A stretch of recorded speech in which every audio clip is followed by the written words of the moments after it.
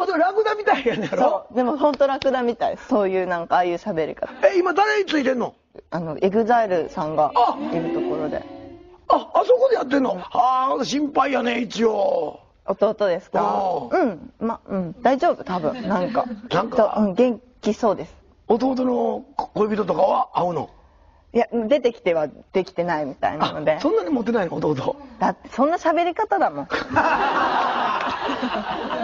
なんかさえ、どんな喋り方やって。あんな、昨日な、ラーメン食ったらな、めっちゃうまかった。本当にこんなですよ。本当にこんなんですよ。尺取って普通のこと言うやつか。で、大したオチもないのに、すごい長いのわ話が。かるわかる、そんなやつおるな。渋谷人多いなぁとか。決まっとるやないか、アホいうやつ。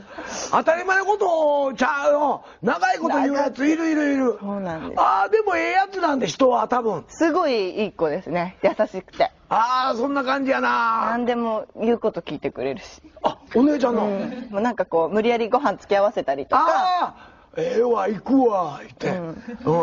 え、どんな、どんな本当に似てる。嘘や。そっくりです。最初ちょっと面倒くさがるみたいな。あもう大阪のゆっくり喋るやつみんなそうやって。